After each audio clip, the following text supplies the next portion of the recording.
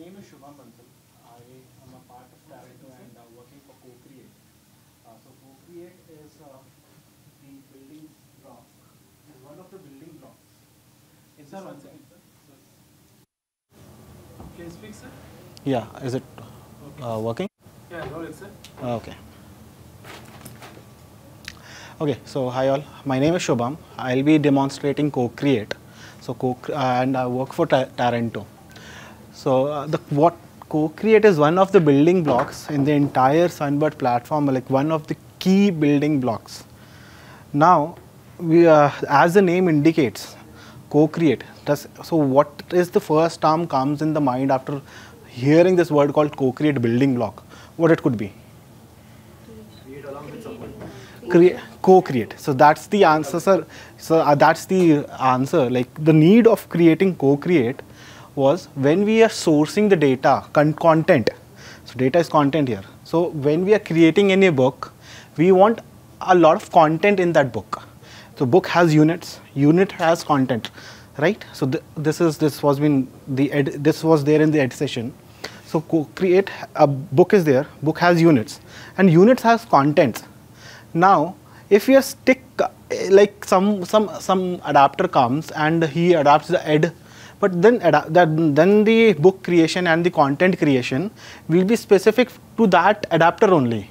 What if you want to source the con- uh, the content from everyone, anyone who who wish to come to the con- uh, con- come and wants to contribute? How can they contribute?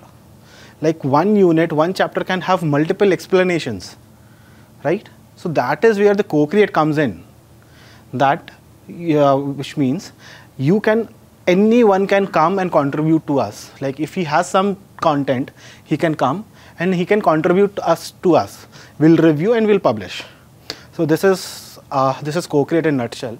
So our agenda for uh, for co-create is see uh, we'll be we'll be we'll be starting with the portal UI we'll be uh, walking through the architecture we'll be we'll be going through the code flow then we'll be coming to the uh, the portal backend the will be da- the architecture code flow uh, code flow and then the program services now program services are the are um, co-create services which we use now co-create service what does specifically co-create service means we'll we'll cover eventually uh, uh, in the in the in the upcoming time so yeah, so I'll start with uh, uh, with the architecture. So this is program. Like if this is an admin, he he wants to source and program. Yeah, so he'll create a collection to that program. Then the contributors, then he'll assign to either the he can assign to assign their own contributors. Like if the program is organization specific, only those organization or those people can contribute, or any individual also can contribute by nominating itself. Now the co-create is divided into two parts, which is sourcing and contribute. From the sourcing, we source the, uh, the we create the pro- the project, and then we go to the contribution where the contributors can nominate themselves and start contributing to that content. How it is done, we'll explain it. So this is architecture. Uh, guest user No, okay. Just to just to rephrase what he has done, what he has explained. If you see here, okay, co-create portal. If you go to co-create portal, admin, there is a two port, uh, two entry points for the co-create. One is the sourcing, one, One is contributor, as he explained. Two entry points. Okay. Now, whenever go to sourcing, sourcing always requires a admin credentials to to log in and all. Okay, most of the time admin credentials. If you go as a normal user, you can't find anything. You can't do anything there. You can log in, but you can't do anything. It's a you don't have a creation project. You can't see your project. Nothing. Okay. Only how admin created for this sourcing? the regular admin role in the EDCA whatever admin role, the same admin role here, the same user. No, there is no registration. No. Okay. If you see the admins today, how the admin admin users can be created for any states? How? Through API. Today, there is no admin creation in the portal. Okay, admin has to be created in the API because there's a secured one where if you give in the portal, like anybody can come and then do it. Okay, even the API level also, the guy who is having a system level admin access, only that guy can create admin users. Nobody else can, like, others don't have that access. Even if you're calling it, that API will fail. Okay? So that's what uh, your implementation team or DevOps team who has a system level access, they will create one of the user as an admin. That guy can drive these pro- programs. That guy can nominate other users as an admin also. In the portal, you have that capability. That guy having option to add more users and mention other users as admin and everything. Okay? So that's how. So basically, this uh, co-create is having the same roles which we are having. Same thing, same roles. Yeah. Same roles and same users. Yeah. Yeah. So users database uh, between Diksha and co-create are same. Same. So yeah, Okay. whatever users are registered on Diksha, so that that those can those See. can log in and register on uh, our co-create portal also. They are, they will have same roles, and but uh, depending on the roles, they will be ha- uh, performing different functionality. So but but do we need, So content creator in Diksha are sourcing Uh, no, admin? org admin in Diksha are the sourcing admin in co-create. So those who can create projects or those who can represent their needs. So when we are saying needs, like uh, we are, uh, so he is uh, like creating a textbook. So I need, okay. So uh, he he he wants to create a textbook for tenth uh, standard. So he can project uh, create his needs like uh, give me contents for tenth maths uh, textbook, right? So he, it's his need. He's publishing. So he's the sourcing admin and now uh, uh, after that uh, then content creators and all those roles he assigns uh, later for his contributing org that he can assign but the main part for the project creation is having admin role or sourcing admin role in his organization So Sorry, sorry. Before we go to co-create, okay, first understand why we done the co-create first of all, okay? So that is very clear to know, know why the co-create exists today, okay? You see it today, I think most of you guys knows it, right? Okay, workspace, there is a creation of the textbooks and everything. What is happening in the ed? They can, any creator, content creator or collection creator can go and create a contents there, right? He'll go and create a content as a one of the textbook and he start creating, a, adding a contents into the textbook and he can publish, he can send for review and publish the book. That's what the Edward follow. If the creation is happening here, why we need a co-create again? One more, the creation thing, right? So The challenge today with this, the when we published first time that this workflow uh, before co-create exists, most of the teachers struggling to create a one book because that guy only has to create everything for that book, all the contents which is required. Okay, within one textbook, if you have 50, uh, 10 topics, each and every topic, he only has to create all the contents. Okay, with a different kind of dual topic detail and everything, he has to do it. Once everything is done, then only it has to get published. Okay, so what happened is when we the COVID hit, many textbooks was just a first chapter and second chapter was added. All other chapters was nothing. There was nothing. Because when the curriculum starts, the first chapters only happen. Okay, they thought of okay adding other things in later. Okay, because that's not the first first month itself. They will not go all the topics, right? all the chapters, right? They will go to the first chapter. Then a lot of struggles the teachers are faced that time.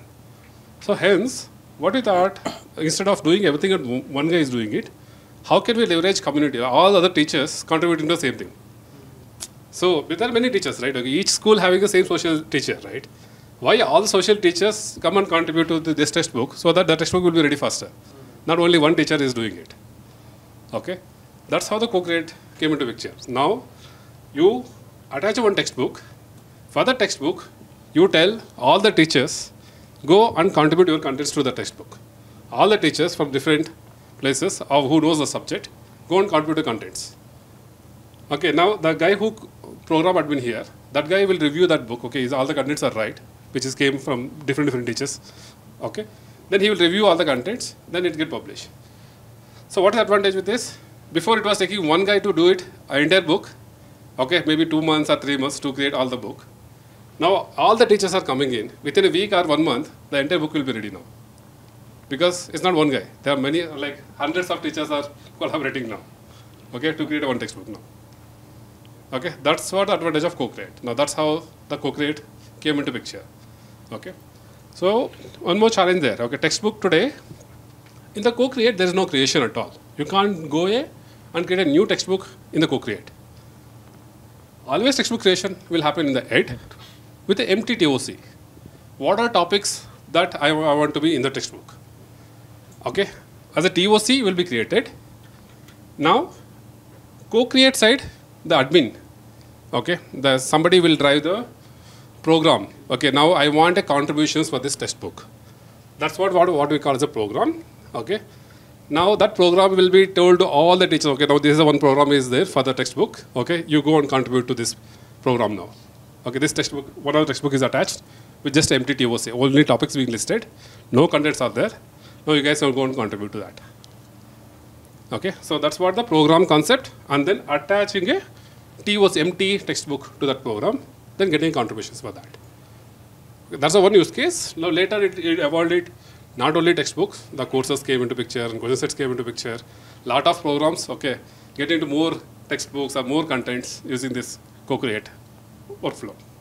Okay, that's what we call again as a Vidya, Vidyadan, okay, or co-create rather than calling as a only collaboration with uh, other users. Okay, so that's the co-create came into picture. Now, if you see, that's what he is explaining. In the co-create portal, go to sourcing first. That's what he just showed showing there. Sourcing. In the sourcing portal, okay, means it's the same portal, only one portal having two entry points. One is slash sourcing, one, One is slash slash contribute. contribute. When you go to slash sourcing, you just log in. If you are an admin user, you can see create program option. If you are admin. If you are not admin, you don't see any options at all there. Okay, there is no list of programs, there is no create programs. It's just empty page for you. If you are admin, you can see create program or list of programs what you created already. Okay, and you can go and modify the programs, or you can go and edit the programs and everything. You can see the admin can do. Now admin is coming and he is attaching one textbook for that program. He is creating a new program, attaching a whatever program that you wanted. He is attaching that book, and he is publishing that. The program is published. So any contributions now. When the program is published, the contributors can go to the contribute slash contribute route. When they log in, they can see what are the list of programs available publicly. Publicly, there are the one programs, and then maybe specific to nominations. Again, program guy can manage how he want to drive that program. Whether he want to drive that program as a publicly, so that anybody can contribute, or he want the program to be controlled manner, where only specific teachers only can contribute, or specific people only to contribute, Org, uh, or specific organization to con- contribute. There's different options how he want to drive the program. That's why co-create having that capability. that while creating the program, you have an option to uh, to f- to create the program in such a manner that what contributions you want. You want only your organization users to contribute. You want only set of users to contribute, or you want some individual, uh, Public. new, Public, or you want to yeah. want it public. Anyone can come and nominate. No one can come and contribute us to directly. They first they want to no- they have to nominate Nominate, themselves, and then uh, they'll start contributing. We need to approve their nominations on the sourcing portal. All the content creation is ha- happens on the contribute side. All the program creation approvals happens on the sourcing side. So see, sourcing starts the program. Content it gets from the co- co- contribution, and after the content is approved and published, it got it it it gets back to the ed. This is the only what he is saying is once what are contents creating here. Okay, I think I don't know whether you guys are attending knowledge sessions. Okay, knowledge building block. Okay, is nothing but a content management system. All the contents managed by knowledge. Okay, even the consumption side, Ed is also having all the contents, right? So many contents you can consume. There is knowledge instance on the Ed side. These are two different infras altogether. Okay, it's not the same. Two different environments this is only meant for consumption, okay, which has a knowledge within it. All the contents are listed here. Those contents can consumed by any users here. Here also the same way, the knowledge is a separate building block, which is its own existence. When teach, teachers coming and contributing, all the contents go to into this knowledge repository. Whenever we publish, admin is publishing the book, all the contents whatever is here for this textbook, it will copied into ed so that consumption can start for that things. Anybody can log into ed, they can consume that books. That will only happen on the pub, after publish. Until that, nobody can see here. the Empty TOC always is empty TOC here for all this. It's not yet published. Still in the draft state. Okay, this guy is publishing here. When it's published, that time only it will go to published state here. After publishing, the anonymous users can also. Yes, Yeah, anybody, yeah. can And so consume. it is Yeah. then open forum for the from on the ed side. Yeah. Anyone can do go and consume the data. So for a program, I can then add uh, for, for any programs when I'm. Yeah, what are Yeah. programs So, coming? content specific to that program. So Suppose, For that particular program, I can pull some of the contents. Yeah. yeah, as per the program. required. Yes. yeah. The program is like 10th class maths Ah, book. yeah. Is this clear? That there's Yeah. how the head, co-create, and Like, why it came into picture, and then how the data flows between these two. So, so if any is, ah, yeah. So you told that contrib- uh, contribution can be done by organization, set of groups, sorry, set of user and single uh, Oh, public user. Correct. Hmm. So uh, set of user will be part of any organization or what? will it- how I mean, any users like, Okay, it's like uh, think like uh, one textbook is okay. I'll try to repeat your question. How the contribution? What are different kind of contributions happen? Like one is a individual user contribution, one is a organization specific contribution, and one more is a nominated. Like okay, maybe like only this guy is putting okay, only you guys assigning few users. Okay, only those guys can co- contribute. There is no nominations at all. Also. Those are public user I mean, I- organization? See, organization nothing but okay. Now there is some NGOs are exist to do this. Why don't you leverage that NGO? You put up that organization. Only that organization users should contribute to the to this book. Nobody else. You can assign the program only for that organization. Whoever users registered against that organization, those users will see this program in the contribute tab. Nobody else can see. If a public user, if you log in, you, you can't see that program at all for you. Okay, that's how the organization specific programs being driven. Okay, clear? Yeah.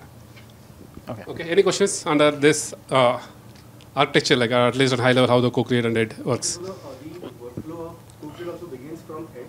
Yes. Means you have, yeah, Textbook. create a text So- Then only you can attach. Yes. yeah, Yes. TOC. There is The no creation here. okay, you uh, can't create any textbook. Okay, I mentioned here textbook, course, and questions today. These are things what you can drive in the co-create as a programs. So that uh, creation can be done by the admin. No, creator, creator. Creator, creator, any creator can, uh, can can be done. Okay. project on the sourcing side can be created by admin org admin so the uh, org admin is the project administrator like uh, you cannot ask like if we take an example of a school or some place you no one can come and say i want to create a project only certain users has the role assigned like yes new project can be started now you con- you contribute to this project like a program come starts in a school so the teachers will contribute to that program that will be started by principal right Yeah. so it's like the admin on the sourcing side can create the project for the textbook of toc which is created on the ed side So for source code, we are using. Source code? the- Sourcing. Sourcing. Uh, And no, I mean to say, uh, using the code base, uh, so we are using knowledge. uh, correct. So we are using that code and uh, uh, doing changes in this uh, co-create. Hmm. fork using Correct. So whatever you do in, in this environment, it will go always it's in this knowledge core uh, service, which is separate service uh, than ed. Okay, Okay. ed is separate and this is this they, separate. they, not they, they, they, are, they are confused between the program and the content. So the program goes to the co-create. The content of the programs is stored in the knowledge. Yeah, that's good. I'm saying about the uh, uh, coding level. Coding level. Huh, coding we level. are using the same code uh, which is used by knowledge. We are uh, forcing that in for uh, this co-create. No, No, no, we are see. consuming knowledge APIs. What is this knowledge? No, It's just APIs, no? It, it has it has exposed all the APIs to create a content, review a content, publish a content. We need all those services should be deployed to consume that APIs. This infra required that services to be deployed in the co-create environment so that you can use it. like editors and all. Okay, we are not Two copies of knowledge we can be deployed separately. it's deployed separately. Yes, And, uh, That's one right. more thing I want to add is, uh, like we said, we, we, we want to, uh, uh, every time the uh, content or, or textbook creation happens on aid, right? And then only people can come and contribute the project to the col- collection, whatever selected uh, while creating the project. But later on, uh, we also thought that people might come I am I'm having uh, content which is actually can uh, contribute a lot to your whatever project or whatever uh, textbooks you have. So we can create projects without collections also. And uh, uh, for that, you don't have to create uh, uh, textbooks on it. You can directly, a sourcing guy or a sourcing admin directly go to sourcing portal, logs in, create project, select the select as, as in says, I want to create the project not for any collections, and then he just create the projects and So the later, contents later he can assign that project to any of the collections. So right, right. Uh, this is the one of the mm, next use case. Okay, where lot of question banks. Okay, questions should come. Okay, first of all, like forget about which who will use that questions. Send all the questions first. Then we'll map it based on the textbooks and all. Like other teachers will take care of it. Okay. In that use case, you can't really put a questions only for the textbook, right? Okay. They want to send all the questions to the system first. That's what the she was saying is a individual content contributions. Okay, there is only contents, questions as the contents coming to a system. It's not mapped to any anything We else. are creating library type. It's a library question question bank. Question You want to create a question bank. You, you write the program to create a question bank for one of the topic or whatever. You guys go and create the question bank for this topic. That's it. Nothing else. Let them create a question bank. Then the creator, who is here or here, they will take all those questions and adding to a textbook or wherever you want it later. Okay, maybe some people want to try only question papers. Okay, there is nothing called textbook and all. They'll go to questions, whatever the contributions came, take some good questions from that, prepare a question paper. Easy, easy to create. Instead of he creating all the questions, contributions came from many people. He's just looking into all the questions, which is good, and he just put put a question back here, question paper here. Okay, so that's the that's what she was saying is program without textbook attached. Is a only contents. All contents you guys come and create. So multiple, uh, let's say, two teachers are there, and they both want to uh, contributing Hmm. to in co-create, Hmm. right? So both are giving this content. Let's say 10 class math. Hmm. and they, uh, what if they say like, uh, both of them say they want to publish. So is it possible? They can't say publish. They can They can only request. send content for review. Yeah. This guy, the program admin, he's the one who can accept that content whether it's the right content or not. Only one textbook. Yeah, one textbook. I mean, because you, you, you both are contributing to the same textbook, right? Chap content to that Like check. when you go to the shop, Hmm. you get one math book, but different different publishers, Hmm. right? You will have the option. Like that we have. Okay, okay, okay. I'll answer this. So the project is is mapped to one textbook. Now one textbook can have multiple contents.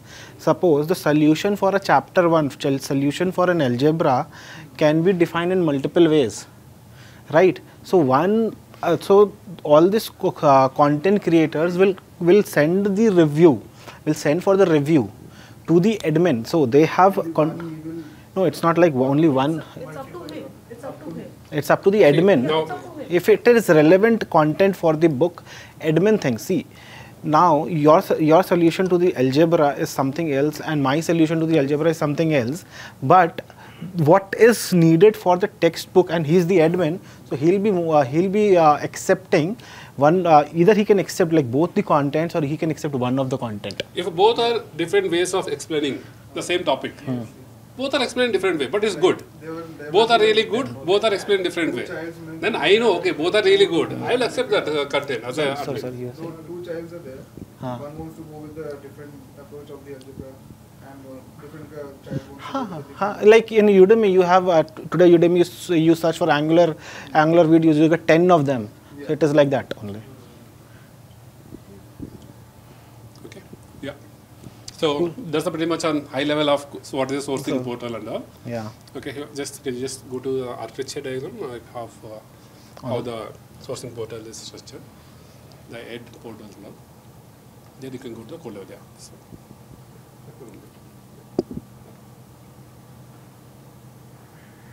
this is pretty much same what you explained. Okay, just how the building blocks, what are the building blocks being used in the code here and. Oh, it's just I'm sorry.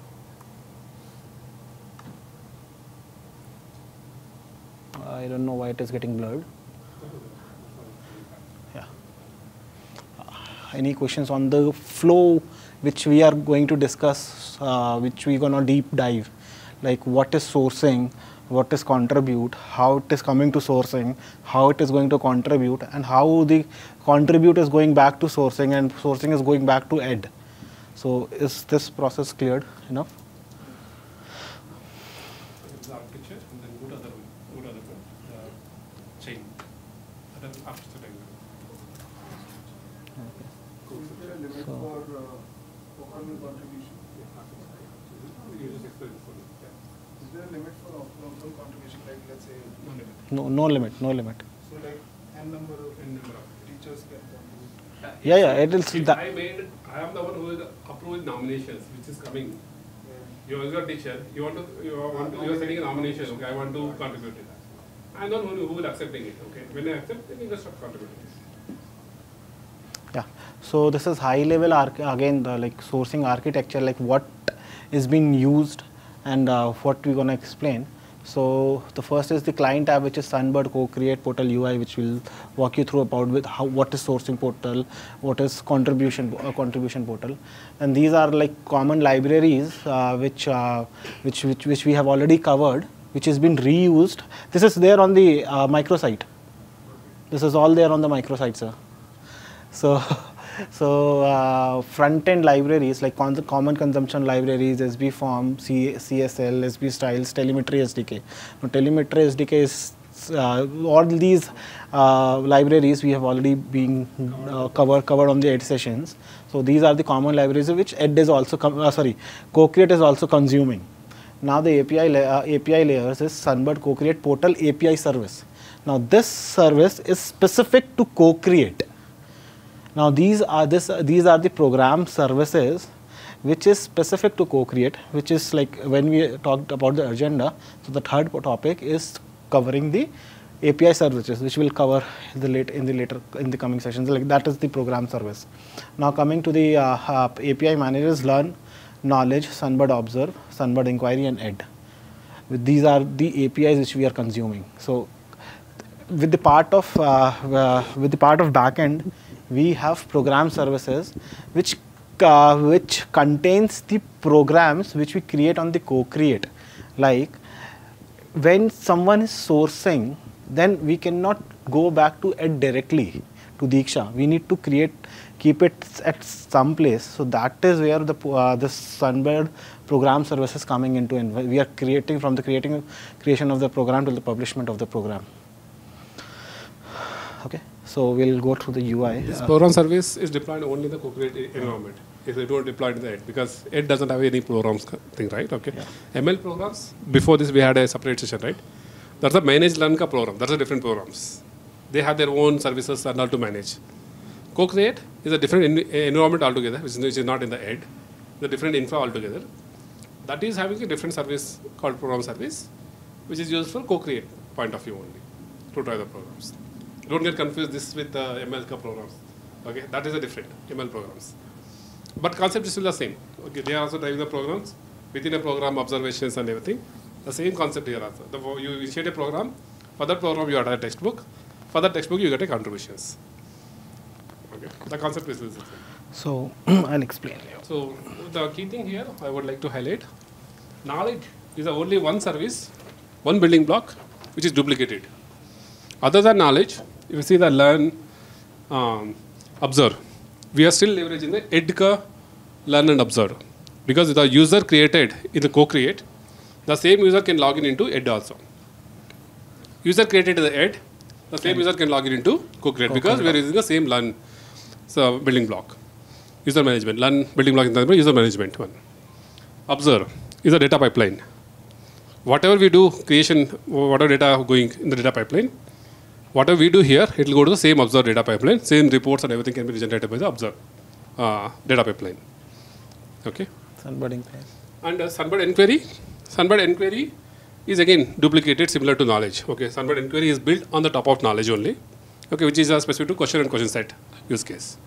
Okay, that's a duplicate again duplicated here. Here also one more instance, and here also is one more instance similar to knowledge. Sunbird Enquiry. Is that clear? The dependent building blocks.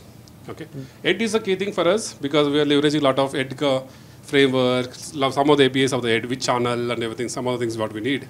We are still leveraging EDCA APIs for that. Okay. We are not creating the same thing again here. We are leveraging EDCA APIs because already created here, right? We want to leverage some of the data from here. That's what we are using the ED APIs to do something. So I'll uh, walk you through the UI now, like uh, what is contribute and sourcing. The the first top section, and what will go to? Yeah. Because it's similar to exactly the portal UI. There's no difference. So- There's also code as taken for the portal UI. Built like two more modules into, like one of module specific for coKreat, which is built here. That's. Yeah. So this is uh, the Vidya, Dan, VD and coKreat test is. Now there are two entry point as I'm as I told. First is the sourcing. Sourcing. Now here, here we are also using the same lang uh, same uh, uh, Keycloak login which has been used by ed. That is why the person who is logged in on the ed side can come on the coKreat. So the uh, the login mechanism the session creation mechanism is similar as that we have already gone through in the ed side. Yeah so here we'll go through this. We'll start with the sourcing Anything happens to the login functionality of Diksha, so for example, in worst case, if the login functionality is stopped in Diksha, so here also it will be stopped. Just stop. it will stop yeah Because same learn, learn management. See,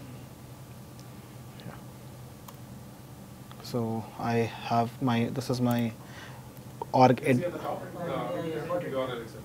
There are some arrays, Yeah, yeah. pointing the same. So this is my org admin, org admin. I've logged. So see now, the admin can able to see the projects, uh, uh, the projects which he has created now, which is live, now which is not live, which is in the draft mode, and these are the timelines where we can uh, we have kept for the users to know like in what state the current project is.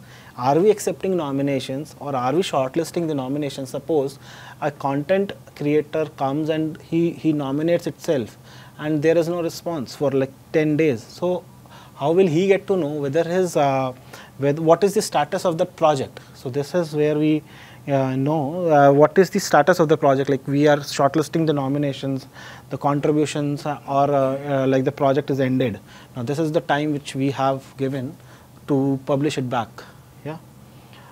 Okay. So here uh, here is the manage users things and this is the organization reports. This and uh, now the projects we have uh, divided into three parts uh, the, which is book course and other uh, book and courses question sets and the uh, for individual uh, content not on, not for any collections. That is what she was talking about like the question bank or something which is not specific to any of the TOCs on the ed side. Okay? So this is sourcing portal for a logged in admin user any questions on now till now okay yeah. So here the admin will come and he can create a project. Now he he wants he needs to select what kind of a projects he want to create. So suppose I go for the textbook. Now uh, project project uh, class 10 math huh? description. Uh, trigonometry uh, contribution to the book. Okay? Now how you want to get the contributions for the project this is what are discussing like from anyone. This is an op- open public forum. Now from a selected set of contributors now here you only need to specifically assign users to your project the content creators. In the case of anyone anyone can come and they can nominate themselves. First you have nominated uh, you'll you have to accept the nominations and then they'll start contributing. Now in this case only a set of users can be able, uh, able to now from your organization. So now if my organization is coKreat or my organization is Tarento only users to specific to Tarento which are the content creators for this program will be able to contribute. Okay? Now I'll create it for the anyone now the nomination end date is I kept it as 3 8 So these are the timelines for my project. Suppose I want to start a project 10 days back, so I can save it as a draft as of now if I want to make any uh, any updations to that. Now I can also what content types I, I want the contributors. Yeah. Uh, uh, previous screen.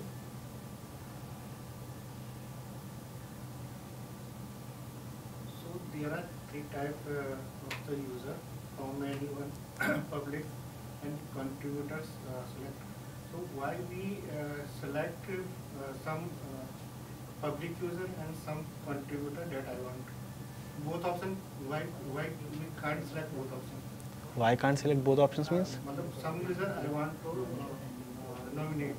You want to nominate? Yes. Yeah, so you can nominate it from the public first site, no? Can be some can be in public. Acha, some of them you want to spec- see public. If you want to nominate them, they either they are from your organization, or if they are not from your organization, for for you they are public. Can be, uh, contribution can be the public or uh, you can nominate to someone. See. Why not at the time, at the time, why we can not use both? Okay, so uh, first, un- first we understand how contribution works. Okay, so suppose you are logged into on contributor portal. It is nothing but uh, dock.sunbird.org contribute. Okay, so I'll- I'll there, it, huh? when you logged in, so when a person logs in, firstly he he uh, sees a pop-up where he can see I'm an organization. Suppose you are the admin of or you are creator of organization or NGO. You can say I have set of people to contribute. I'm an organization, so I'll log in as an or- organization. Suppose if I'm a teacher, I'm a first class uh, uh, or, or teacher. I want to contribute as an individual. I don't want to be part of our organization. That is your choice. So you get pop-up where you can see if I'm an organization, if I'm a uh, normal user or individual contributor.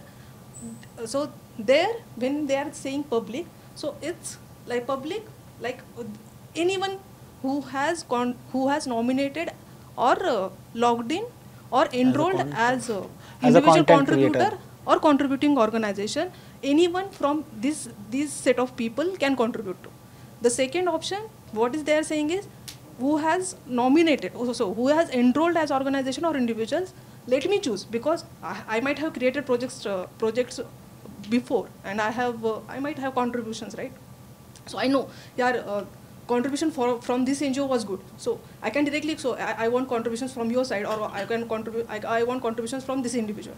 So I can directly say, ki, uh, select these people and I can, and they, they will get nomination, they will get, uh, sorry, sorry, emails or something and then they can directly come to this project. And they can directly, That that I understand. Yeah. I'm saying that why not both? See, sir, uh, okay, to answer exactly your, your thing. See, if it is public, okay, That's what- program is public. Whatever you expect, the specific people also can join, and individual also can join. Why do you want both?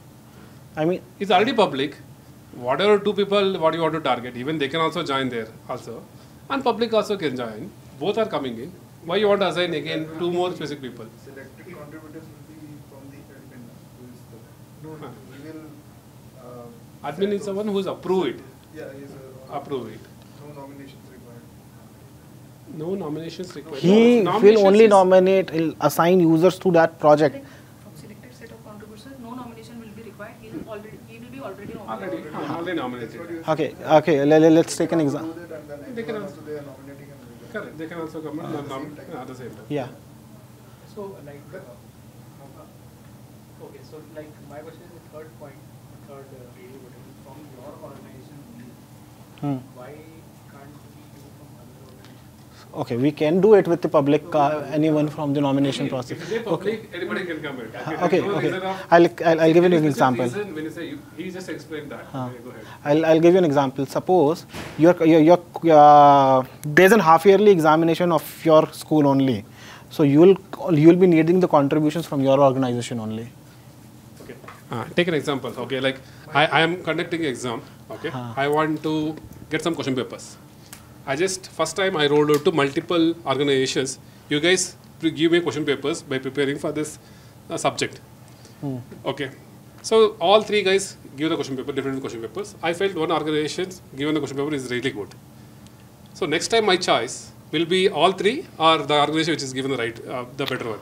This is I want to target that. That's what the organization only.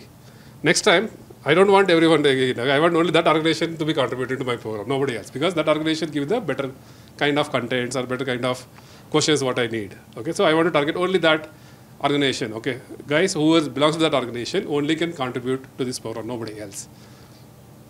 But it doesn't have other organizations. no? It's only your organization. So other organizations. Other organizations, if we are, Anyone. yeah. What is it? Which See, which- which- yes, so they, From anyone and from selected of set of contributions. so they you can. So if you want to specify something within your org only, then it Again, is all these things are specific to requirements. again, Huh. Okay, like okay, they don't uh, they got requirements. Okay, like use cases. Use okay. case, yeah. These use cases This- can vary. these okay. forms are if they want fully this and that, all these things. Okay, just go and build it. Okay, Today is like this. Maybe the requirement comes. Go and do the change. Okay. Okay. Today is not that way. Okay. Today the feature the as they like this. This is what it is given. Okay. Yeah. Is still you have any doubt? I mean, No, no, no. I was just telling him that from other organizations, from anyone can be. ha, public means anyone like Any uh, organization can be. any NGO, any school who is uh, there on our platform as a content creator can come and nominate themselves. This the admin, the the owner of that project will approve the nominations. Then they can start contributing. Now, by the terms contributing means you you can start uploading your data for that textbook, like chapter one, chapter two, chapter three.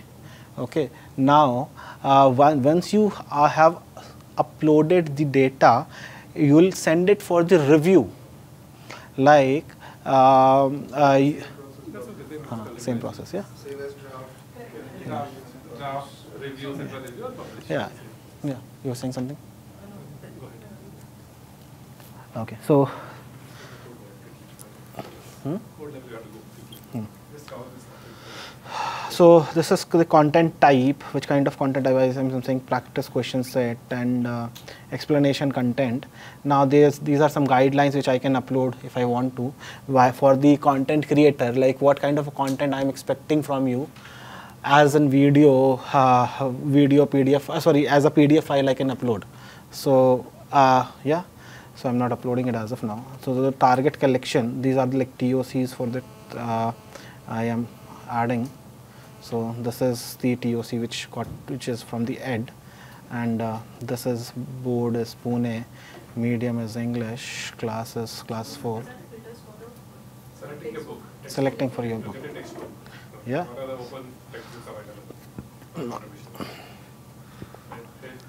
So your project is published. Class 10th maths. Your project is published. Now, don't open. Okay. Now, you can open it. Uh, if I'll go with this user, this will be automatically nominated. Ah, that's what no. So for that I need to assign it no. First, uh, okay, I'll create. I'll just copy the program ID for my convenience. Okay. So here, uh, here are the nominations and uh, which is already there. Here are the reports assigned users to that project. Uh, contribution dashboard. What is the contribution status and the digital textbooks which we which are there. Now we can download the textbook details also in the when, when in the in the process. Now I'll go to the contribution portal with the other user.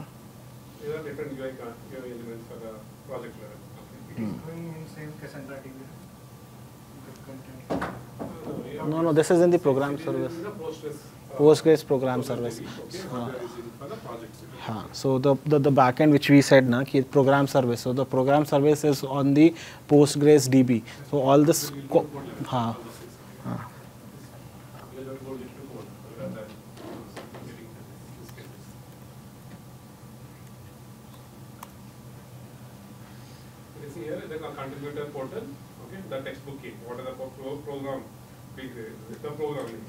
हाँ. not a. So you need You go into the program, okay. Hmm. Now, he, as a program creator, he chosen uh, two options given. Okay, only you can contribute this type of content, which is a question set contents or explanation content. Okay, the creator can choose what kind of content he want to contribute. Okay, he, he'll select on any one of it, and then start. okay, uh, start. He, he want to addition to the start. And there's only one unit inside that. Okay, means chapter level. What is chapter. which Go on to it. editor he wants to do.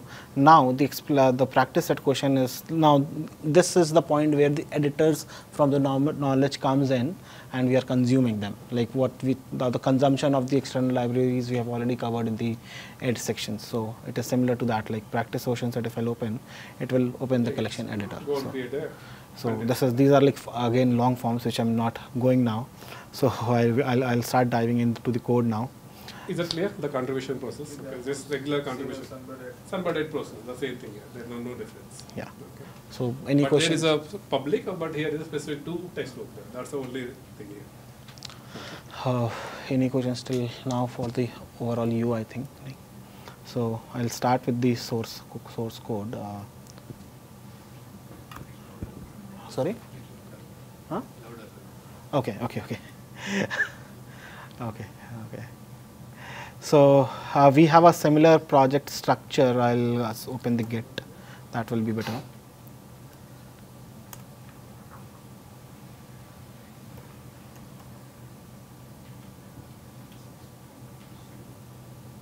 So we have a similar project structure which we have already discussed in the ed, which is like uh, the back end and then the front end.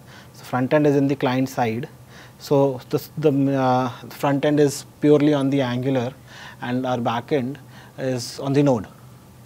And uh, then we come on to the source. We ca- this is the pro- Angular project structure. These are the modules.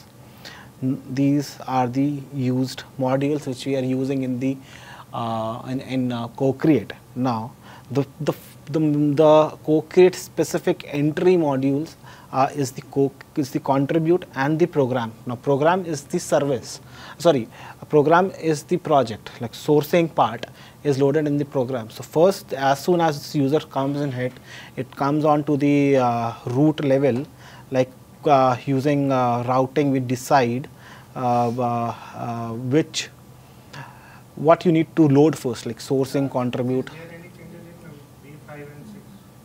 sorry Version, version V, version 5 and version 6? see yeah yeah i mean uh, the diksha is still on the angular 9 and we have uh, we have upgraded to the angular 14 Module wise. huh. mod no no no no, no, no, no, no. So this is like uh, the module. Uh, mo- just a minute. Five point.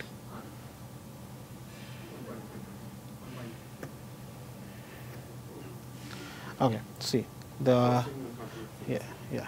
So it's all the same. Now, if you'll see, the, this is the basic Angular uh, routings. Uh, first, we authenticate the user uh, uh, after the login, where he wants to land in. If he is coming to the sourcing, we'll, we we and uh, we open the program module. If he coming to the contribute uh, uh, for the first time, it is join organization admin contribution portal. The contribute module is open.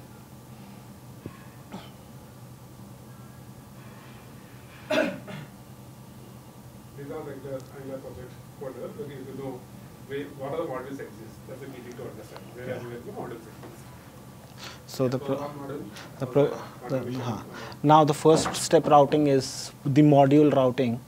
Which module we want to route? Now within the modules again we have a lot many uh, in, uh, lot many steps. Now within the uh, within uh, sourcing where you want to go? Like you want to create a project or you want to review a project you want to join uh, mm, uh, uh, want to create a program edit a program join organization or uh, your your nominate uh, nominations what is there contribution uh, what org- organization list and all these things this is the internal routings of the sourcing side right? The whatever the functionality sourcing is having this is the is this is the place where user will come first. First it will go to the parent route module level routing which is lazy load lazy loading uh, for the for for for defining the module which you are loading then it will come up to the module specific routings so if you haven't given so by default your project list has been uh,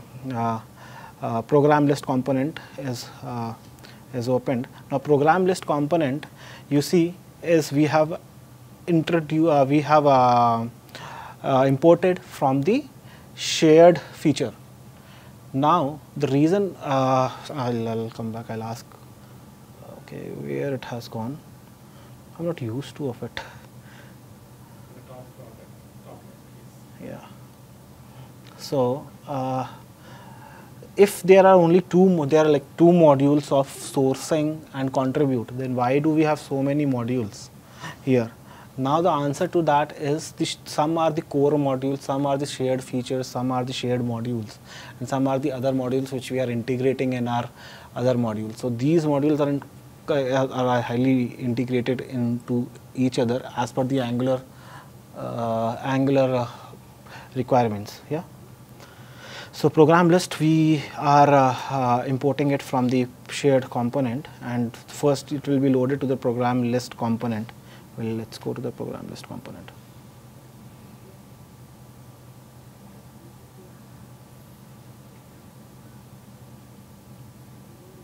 Why it is not uh, program list component?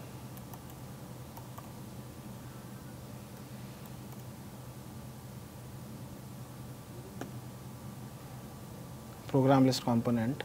So this is the component which is uh, which uh, which will give you all the list of the programs which is already there, like we saw in here uh, mm, this side sourcing. So this is the program list component which will give all the programs.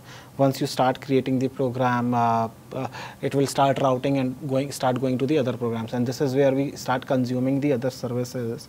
So the ANET. So uh, this uh, we initialize the framework. We check the user is contributor or not. Then uh, then where is the ONET function?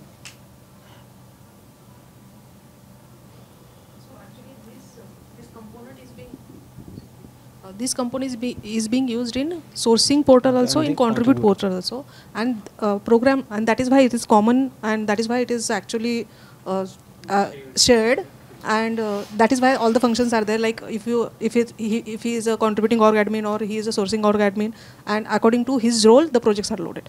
So we, we, we actually load all the projects from the program service because as of now, the- all these programs are residing in the coKreat backend program services, which is the Postgres DB.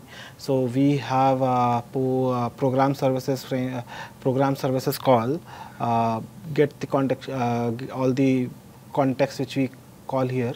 This is the init function which is uh, uh, this is the function to check if the user is contributor or not. If it is a contributor, then load has all the programs. So this is where we load and we set the active tab. Now there are like three tabs, which which uh, is the user's tab user needs to land in. So this is here we uh, uh, uh, we define. So this is the program called get program program list by role. So first we describe after describing it if it is a user or not, then according to the roles of that user, we fetch the programs. Get so uh, these are the API. Uh, these are the again some uh, methods which are calling the program service.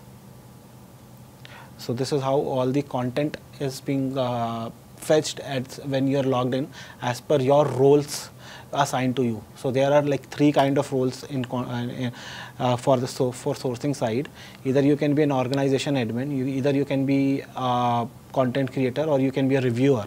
Now everything needs not to be uh, reviewed by the admin admin can assign users uh, roles to the other users that you are a reviewer now if you pass uh, you pass uh, then i'll uh, then i'll review or you you, you approve it it is good fine for me right so there are like multiple levels of approval two levels of approvals either you can uh, that is being decided at the time of uh, creating the program only that you only wants to approve it like admin or you want reviewer only want to approve it or you want first to reviewer uh, uh, review it and then it will come to your review Two level review. two level review Two level review okay? Yeah. One is the first reviewer.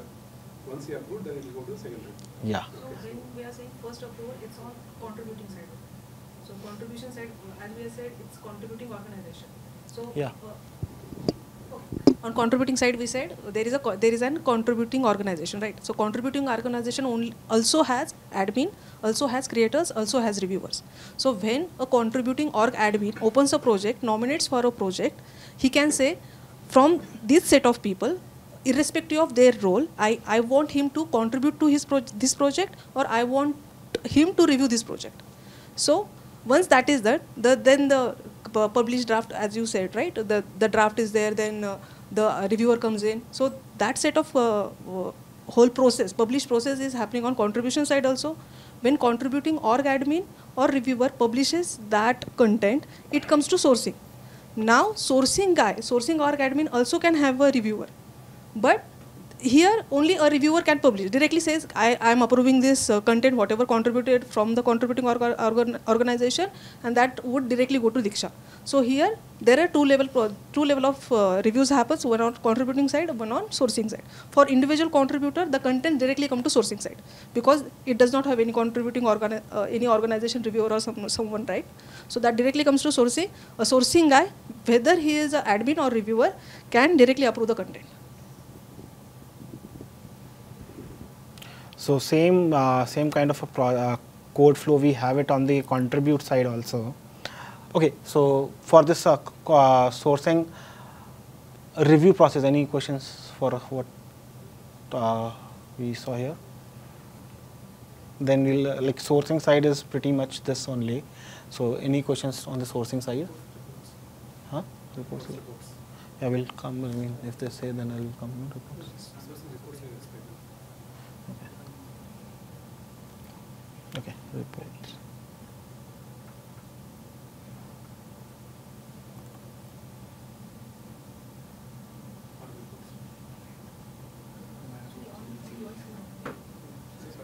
Sorry? Acha. Yeah. So organization reports. So collection level, content gaps. Uh, so these are like the other uh, the. Huh? Okay. So the collection level content gaps. Uh, this is the description for this. That details uh, which it provides the collection level.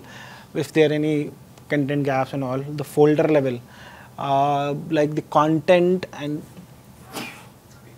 okay the content the book and which has multiple folders once you start creating a content on the collection editor you can add child and all those things so reports for that visitor report like who is coming and uh, come uh, uh, uh, what, like you have visited some things some people have visited of your organization so these can be downloaded from here. This is like project level funnel report for the project. So all of uh, these things are there. I mean there's some infra otherwise i could have downloaded in uh, content detail report so these are like organization reports which we have on the uh, on the coKreat side and then we have project level reports also i just show you that uh, content level report, digital textbook level content report, and the textbook unit level content report, which is like the unit. See, a book has a unit, and the unit has the content, right? Book and content are this uh, uh, like, uh, is the skeleton only. Now, the skeleton level report, if you want, they are like uh, unit level or the textbook level. See, like textbook, unit, then the content. Now, content level report, you want it for the unit or for the textbook. This is these are the reports. These are real time or batch? uh, Real time only. Real time reports, right? Yeah, It's a download, okay. you can download them. These are the real time But, Textbook means then it will be so much. Uh,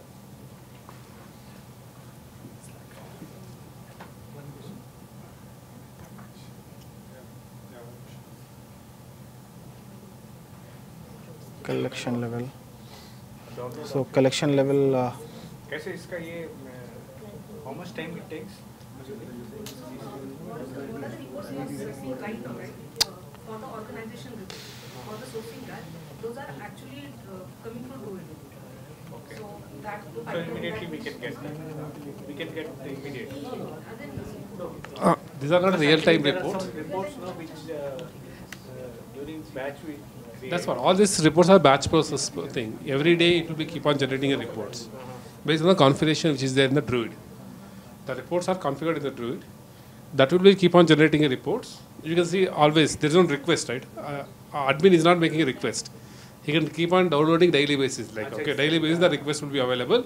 He can download the, today. What is the status of this report? I'll show you the report Okay, system. how many contributions are happened? Uh, the reports he will show now. Okay, what data will be their report? But there is no request. Admin is not making any request. By default, it will be generated in the batch process every day. We can download what is today's latest changes, what happened today's in the programs. Sir. This is again using the Sunbird report service. Sunbird report service, yes. That's what, uh, uh, as, a, as I told you, observe our data pipeline that is generating all these reports. Configuration also happened in that level. Just a minute, I'll show you the reports. Just give me a minute.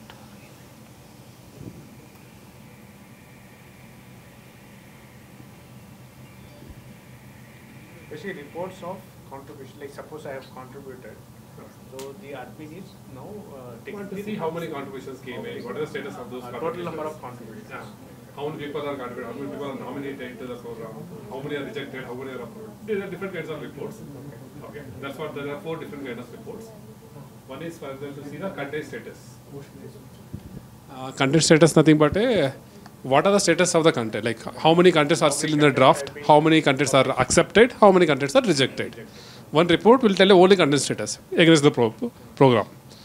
One more report tells you against the program level, what is the status of the book? Okay, book, what is the status of the book? How many contributions came to that book? Okay, how many are accepted, how many are rejected for the book? Okay. One more report for the unit level. In the book, there are different units. On that unit level, for that unit, how many contributions came, how many contributions accepted, how many contributions rejected. That's the one kind of report. That's a funnel report, what we call funnel I'll just show you. report. One more report is overall programs. In the VDN, how many programs are running? For that programs, how many are total contributions, how many are total uh, rejections? Okay, that's a one more report. There are, these are different specific use cases again. These are use cases came from the field. Only those are reports are available. If, if they ask one more report, start building the new report. Okay. I think the report is uh, having some issue. Not open. as CSV is not opening in my. Because in your data, data track yesterday we covered all this. Huh, data track we have covered. The same thing is explained in the data track also. So yeah, any questions on the report side and the sourcing side? The control. Show the code. reports, uh, So actually, why the, cha- see, my concern is, we were having, uh, we had to struggle for some of the reports in last two, three months. Huh. So what is the challenge? Uh, see, uh, it, it's simple. The database, they, I'm just accessing data and I, I need to get the report. But, the when we have that flow right to Flink, uh, Kafka, and you know, so there uh, the uh, reports are not getting generated as expected. Yeah, So in that case, what could be the challenge? See, Okay. the flow is defined, right? Yeah.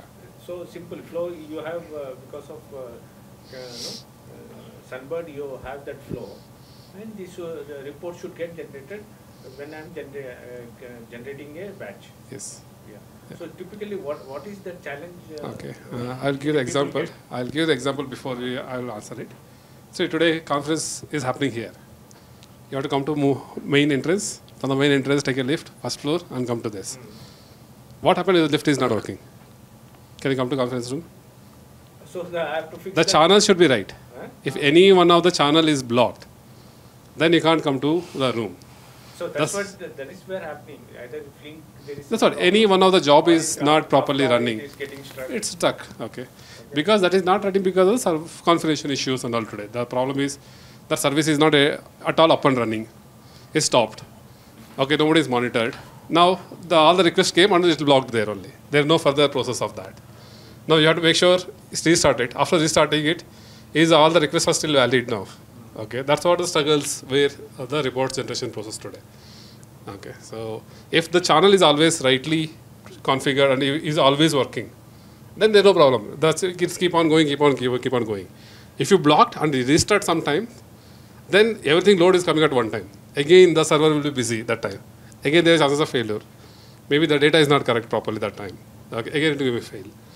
That's the challenges you guys are uh, ending up today. The why the reports are not generating. Okay, so some places, one of the pipeline is stopped. Yeah, Okay. or it should be little flexible, so that uh, if I want to have uh, run a report for ten programs, instead of that, uh, I will initially run only for five programs.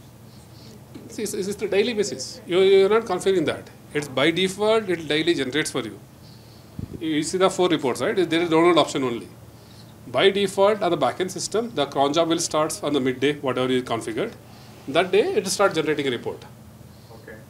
Okay, you know to trigger anything. There's a cron job running on the server. Okay, when the time hits, the cron job starts and it starts sending a request to generate a report. Or we can do, see, who, who, who are the audience? Typically NCERT is uh, audience?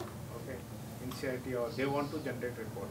So we'll give uh, There is a there is an option in the Jenkins also. You can trigger from the Then they can Jenkins. You can trigger from Jenkins also. That's option also there. See, all these things, it's there. Okay. Now, even for the uh, Jenkins, if you're triggering, if the job, the road is blocked, okay, as I told you, lift is blocked. You do it cron job or you do it from trigger for Jenkins. The lift is not working, you can't definitely reach to the main, uh, like, conference room, right? That's the problem. First, you make sure that pipeline works properly. If the pipeline works, you don't need to worry about that. By default, it will be keep on working. So in NISHTHA three, right? You, you guys have worked. uh, NISHTHA two, 3, uh, right? NISHTHA 2. So what are the challenges you? you See, NISHTHA 1 and 2 is pretty much certificates, is the major workflows. Okay, major problem. NISHTHA first is a heavily certificate driven and then lot of enhancement on the data pipeline also all together. Okay, because that was the Spark machines were used. There was no Flink jobs at all. The Spark itself was not able to handle that much load. Okay, like it has to generate around uh, 10,000, more than 10,000 reports per, certificates per day certificates per day. Okay, it's not able to handle that much load within the time span. In the night, midnight, the job will be running it. Okay, so that none of the users are uh, using the system. Midnight within a three hours supposed to complete. It was running till morning. Still, they are not able to process the 10,000 certificates because the tech stack itself is not capable of doing that much faster. So hence we moved to Spark 2, again all these things into Flinks. This all happened in the data track because you guys will not be knowing it all these things, okay? So hence the entire tech stack being changed to Spark to Flink. The Flink has a logic of async things, and it is not a non-blocking thing kind of thing. It will not even wait for that to complete. Okay, the queue will be keep on parallelly can happen. Okay. After moving that, the pretty much NISHTHA 2, like we didn't see the challenges of the certificates. It works smoothly. But in the first version, a lot of issues with the certificates. Okay, because of it went to pipeline, it blocked because server is too much busy. It's not able to process at all. It's restarting, restarting. Whatever restart, whatever the request in the queue, it's gone. Okay, again, that request is not served at all. Only next request is served. On this request, whoever is waiting for a certificate, he will not get a certificate because these studies happened that time. Those are problems what we end up with the NISHTHA one. Okay. Anyhow, like all these things are data track uh, problems. Okay. Yeah. Okay. We have to ensure that all of the jobs and pipelines are configured, they are in place. Yeah. If everything was smooth, then there's no problem. Code, yeah, Yeah. everything is real time per se. Yeah. Everything has to be generated, uh, you know, the last night or whatever. Correct. Only it will be available. Yes. So it's challenge could be because of the load. Yeah, Or- because of the load is can load be a or challenge. Memory or some or the other thing. Yes. Okay, fine. So, uh, So the table which we are using, that is like SV desktop plugin or it is like a database? See, that's not a table. Go back. It's not a table at all. which table you're talking about? The to? program list. The program list, even wha- whatever is showing it. Go to the UI. Yeah, that down. Uh, wait a minute. Sorry, just a minute, just a minute. That one only, right? Be here only. Be here. I think my I just got logged out. Go to your doc. Huh. Yeah. Go to your my projects. Yeah. This this is table, a- no? Ah, this is not a table. Is it a table? Is it looks like a table? So it is table, it shows a table. Report sheet, so this is called uh, table tag. Table SB table. SB table. SB table. Okay, SB a form, dashlet. SB table. There are two things. Don't get confused. Dashlet is a something which is uh, what we explained in the last last call. ML thing. Dashlet. That is for the reports especially. So Report can be in a table format. Uh, for, but but uh, in that section, the table they were showing with the like SB Dashlet only. Hmm. So, so that's why I'm asking you, this table is also they are using that plugin or any separate table, table tag we are using later. This SB forms only. They told two things they are using. They are using SB table and they are also using SB dashlet. SB dashlet especially for reports to show because SB dashlet have a capability of different kinds of report to show based on your data. Okay, you, you pass the data, you give a configuration for this data, show me bar chart. For this data, show me pie chart. SB dashlet by default shows you, or line chart, whatever you want. It is just a configuration to that. You don't need to write any code. You pass the data, for the data, you show me this kind of, what kind of report you want to show. That's what SB dashlets. SB table is meant for only table views. Okay, like there are a lot of options in the table, uh, option the filtering and everything by default comes with the SB table. You don't have to write any of the code for the table. Whatever columns that you get it, by, by, by the, any of the column you can do filter by default. That's what SB table having that capabilities. Okay, so that's what we build two different libraries, SB table and SB dashlet. Dashlets. So, Vinu, uh, is there a, a, a wiki or something available on, let's say, Sunbird microsite, Hmm. which tells which tells an adapter Hmm. of coKreat, like which thing jobs have to be set up in order to use it effectively? Which Flink job has to set up? Go to microsite. Open the Flink jobs. What has been?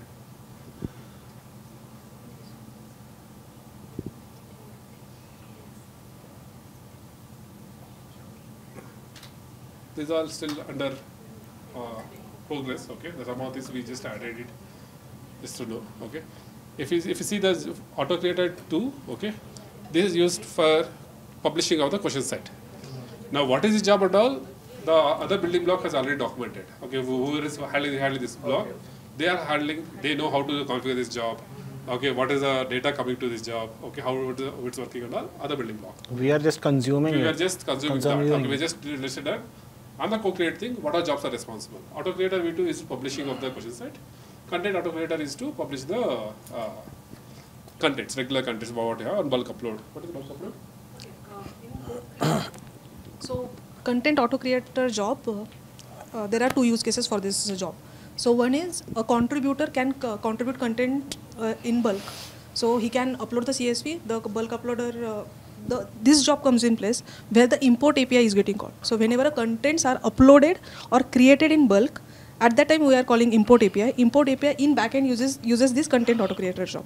Now, when now the contents are coming to uh, sourcing guy, right? So he can approve the content, uh, single content or multiple contents. At that time also import API comes in picture, but this time he is publishing content from our uh, coKreat portal to Diksha portal. So this time, this content auto creator job needs to be present on Sunbird because we are calling import API of Diksha to publish a content from our coKreat portal to Diksha portal. So in case of coKreat, this has to be present on uh, coKreat portal and if, if you are using bulk upload and if you are publishing over consumption portal, this needs to be present on your consumption portal also. And auto creator is like uh, publishing question set from co- co- coKreat portal to consumption portal. There are only two jobs today for the coKreat having dependency. I mean, the definition, the installation of these jobs will be on the lear- on the learn side, learn building block. The all The covered in the microsites ka Flink jobs is getting covered on these things. Because front-end guys don't need to worry about these things. Okay, who, like how to configure it, front-end guys don't know it. all, Okay, we learn to do this because it's a pretty much interesting. We have to worry about everything, so that's why. uh, Yeah, front, we should know what jobs to be triggered. That's the key thing on the front end. We should know So- what is the back end is happening. Correct, Okay. Okay. We'll go back to.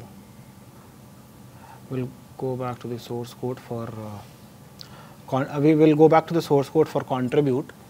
So, any questions on the sourcing uh, reports, anything till now? Okay. So the again the so uh, the flow for the contribute is same as sourcing. Like when you when you come to the, uh, the when you hit like local uh, local host or any domain slash contribute.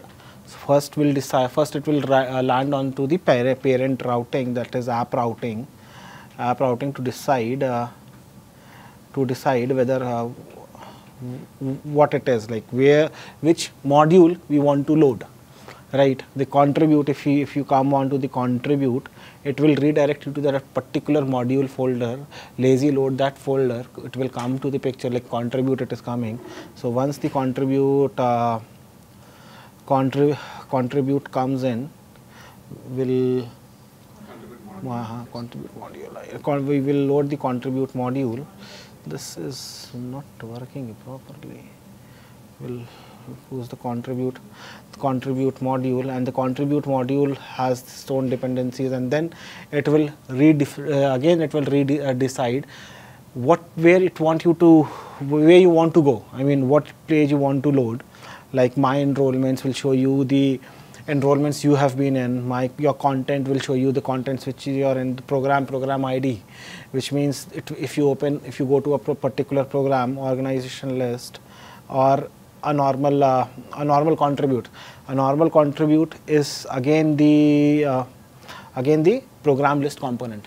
As we as, as we saw in the sourcing side the program list component.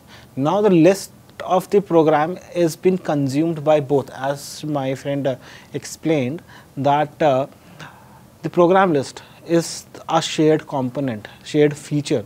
So we have kept it in the shared feature module there are like many other uh, uh, uh, components like the, the like them like the program program detail component.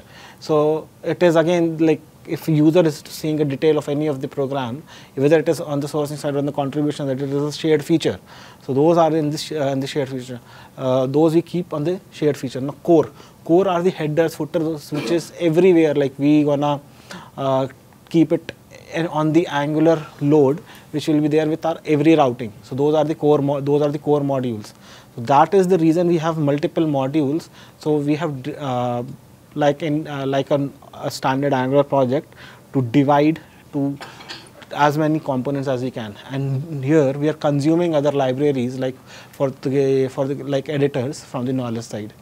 For- for library consumption we saw in the ed like there are two kind of libraries which is uh, which is Angular, which is like JavaScript based or the TypeScript based. The TypeScript based libraries which can we can configure in the package JSON, and the Angular uh, the JavaScript libraries we all can also configure in the package JSON and define in the Angular JSON the path of the node modules. So this is how. So now coming to the contribute. Uh, contribute side again it will go to the same program list component and it will decide it will check the user roles now the reason of having a method get the programs according to the user roles is th- is this like we you your session id decides whether you are a sourcing admin a so- you're, you're coming from the sourcing side or the contribution side and what are your the roles and the programs assigned to you which will be presented on this co- consumption list and then you can proceed further so this is uh, pretty much on the contribute side. You, if you want me to uh, go on to the services, explain the services. Again, we the, the services which we are being using as of now is the program service, which is uh,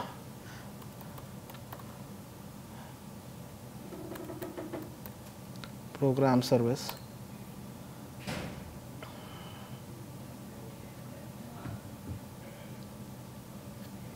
Programs.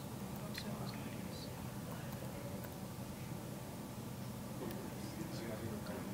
sorry.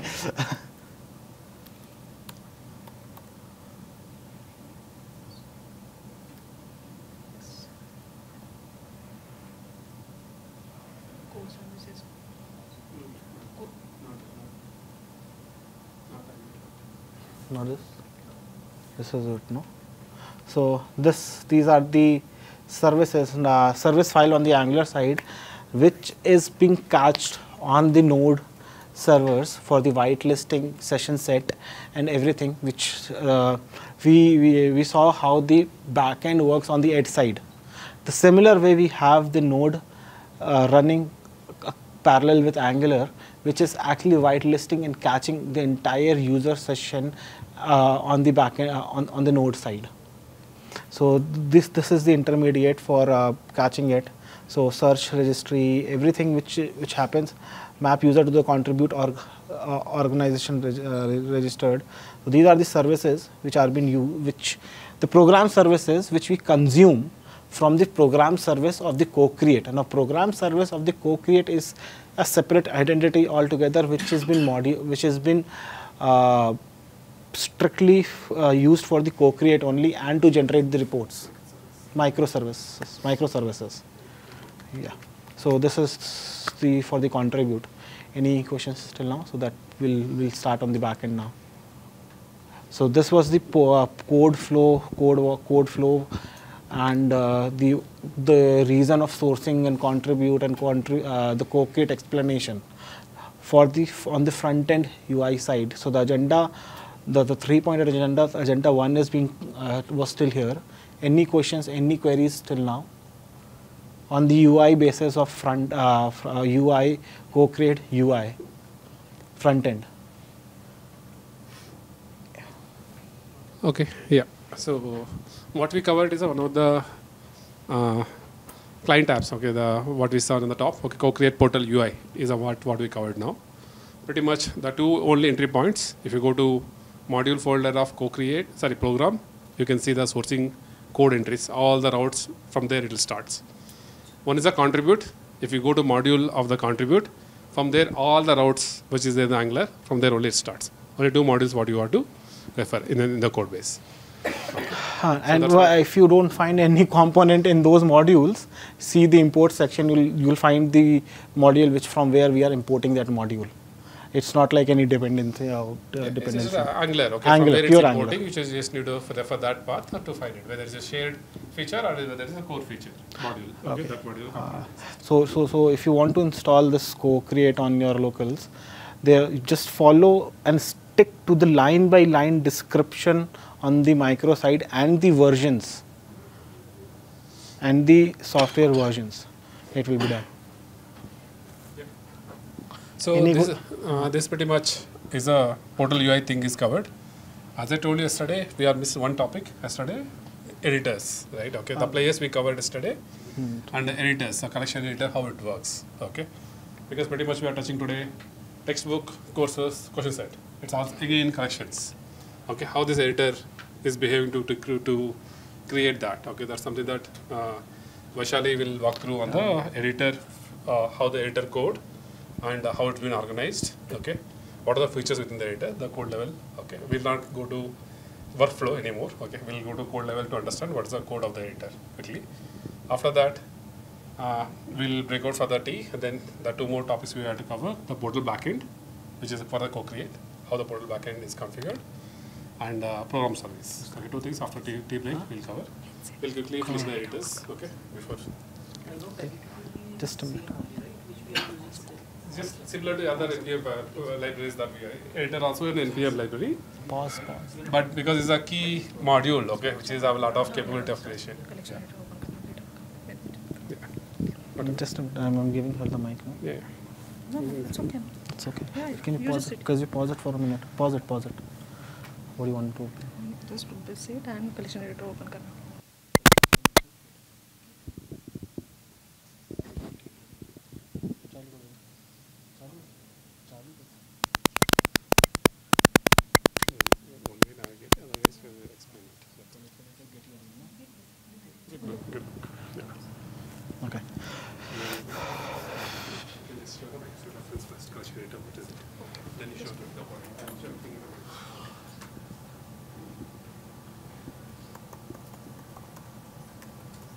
So uh, currently collection editor comes in picture whenever we are creating any collections. Okay, sorry. Uh, I'm Vaishali. Uh, I'm representing Tekdi here, and I have been uh, part of coKreat since it was uh, like launched. Like uh, the program was launched with Vedan, right? So I'm since there. Yeah. So. So collection editor is one of the library, NPM library we are using in both Ed portal and coKreat portal. So it's basically uh, used to create collections, textbook, courses. Uh, yeah, so this is actually uh, the microsite right now. Okay. And these are the editors we are using. And from that, we are having the collection editor version 2, whatever As uh, currently we are using. So in during the ed session, we got to know that we have different versions of the editors, right? The collection V1 editor was on the JS side, which is not deprecated. We are not supporting it. Uh, we are just consuming it for the sake. And the collection V2, uh, collection editor version 2 is purely based on the TypeScript and, and can be consumed by any of the libraries, which is an, more of an NPM package. So you, you, you can install the NPM package, you just uh, you need to pass the configs that uh, the how which we saw in the ed session, the window configs, the config file of the JSON, and then this entire uh, collection editor will be open in your iframe. So here also we just saw that the collection editor was open uh, the minute minute I start. Uh, uh, see, this is how this is not the uh, this is the collection editor again. So this editor has been opened in the iframe right? The config, uh, yeah. You want to say something?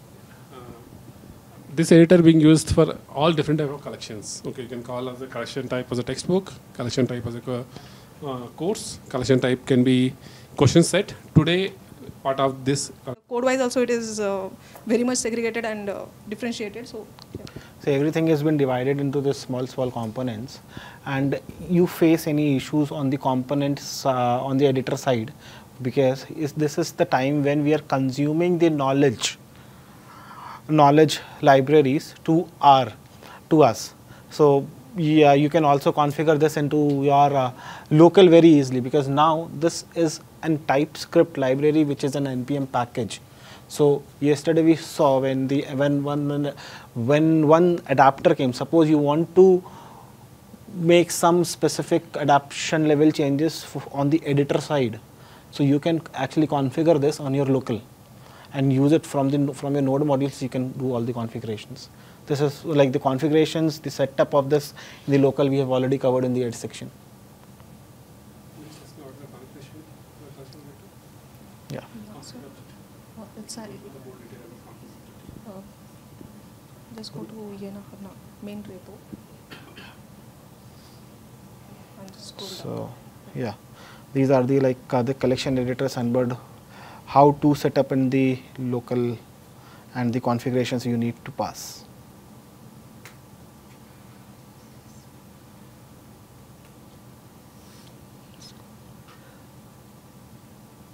I mean, okay, I'll demonstrate from the step by step. So install it, uh, like I said, it is an NPM package. Now, if you're forking it, you can publish your own NPM package, make it your own personal NPM package and do all the things, or you can contribute it to, uh, to us back. Then uh, it will actually come, uh, don't forget to install below peer. So these are the dependencies for which you need to install first. Yeah. Then create a copy requirement as sets, like the set uh, uh, create a copy required asset folder. Then this include then these are some styles and scripts for the editor specific you need to include.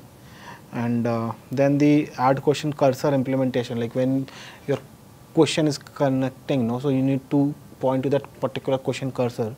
So it, it is for that. And uh, then you just need to import that module. You're done. Send input to the render collections. Each and everything is been So that lib editor, right? So that tag, HTML tag we are saying. So with that, that collection editor gets loaded in your uh, uh, apna npm HTML. And uh, okay, scroll down. Scroll, scroll down. The last one, overfull. Over the last one, under configuration guidelines. Explain this. This is what we are explaining. Yeah, okay. So when we are using collection editor in our component or in our uh, sourcing in our project, so this is what we should use this HTML line, and we need to pass editor config and editor emitter. So editor config is what we are passing to uh, question uh, collection editor. So there there are set of uh, key pair values, right? So we have to pass it. Editor emitter is whenever you are doing any action on editor, so it should be cached in our uh, so in our sourcing code, right? If uh, it's getting published, it's getting live. So I should know the action, whatever happened in collection editor in my code also. So that is where the editor emitter uh, listener events come in picture. Just scroll down. Okay. So uh, down, down, down.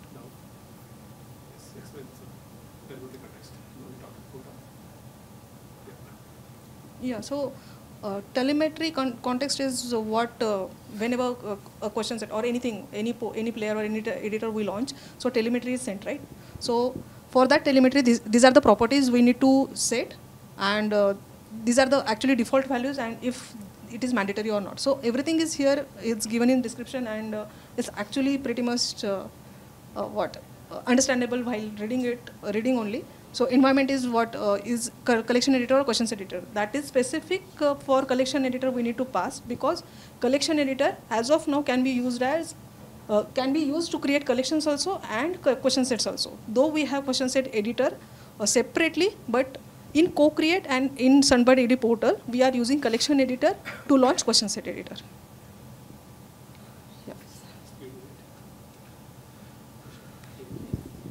Uh, just okay. This uh, how many of you are getting what is telemetry context and why are we passing it? Why we have to pass the telemetry context to the editor? S- Sorry. Event telemetry event to generate capturing or generation. Who is capturing? Who is capturing?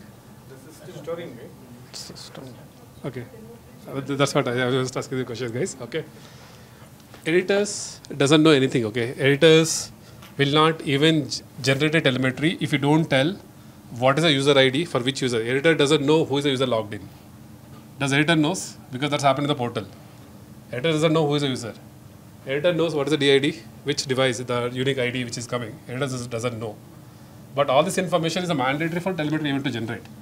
When you're anybody generate a telemetry event, these are the mandatory things that anybody can figuring out what happened for that user in that session or something to analyze it.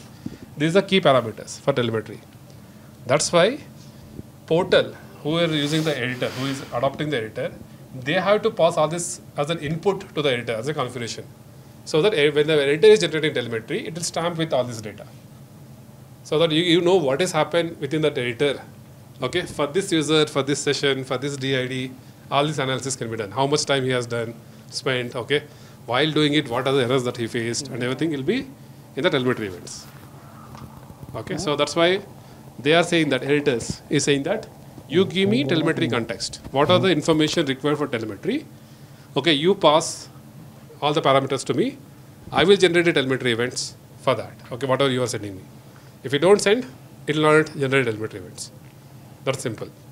Okay, so that's what all these properties that uh, is all documented. What is this property mean for what? What is this property? You can see, okay, I don't want to go to more details. SID is a session ID. User session, like when the sessions uh, login, there's a session ID. That description is given. Whether it's required or not, also, because telemetry requires some other the properties a must. If you don't pass telemetry, event will not generate. Okay, that's what required property is mentioned here. And then P data, producer data. P mean P nothing but a producer. Who is producing the data? Means your coKreat is producing data. The pro- producer is a coKreat. But environment is a editor. Okay, that's what she is explaining about who is environment and who is a producer. Okay. All these details are given here very clearly. Just if we go through this, which is a mandatory or not. That's a telemetry context.